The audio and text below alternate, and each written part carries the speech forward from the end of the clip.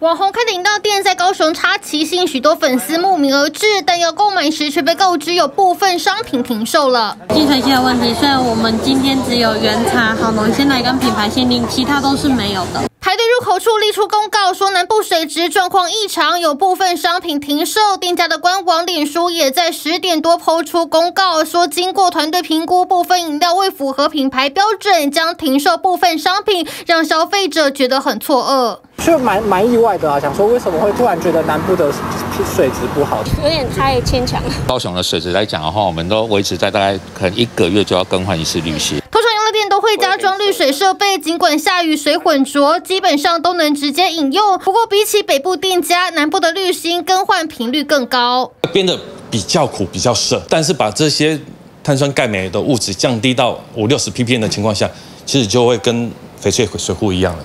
泡出来的饮品口感有差异，主要是水中的矿物质造成。而这样的差异也确实会影响茶饮的苦涩程度。而当时网红饮料店在下午两点多改口了，重新发文表示先前贴文用词不当，造成误会，澄清是门市每天会针对茶饮进行风味品评，因为没能达到内部的标准，才决定停售。目前我们水质供水都正常，而且都符合饮用水水质标准。哎，只要非翡翠水库的水质都会有硬水这个问题的困扰。哪个水库水是最糟糕的？呃，凤山水库优氧化之后，TDS 跟硼基酚这物质含量都过高。南北因为土壤条件不同，造成软硬水质差异。除了翡翠水库矿物质成分少，其余水库矿物成分多，水质偏硬，煮出来的茶叶风味就会有差。但店家可以透过 RO 逆渗透的设备来解决。不过一套设备大约两到三万元，得看业者愿不愿意添加设备来改善。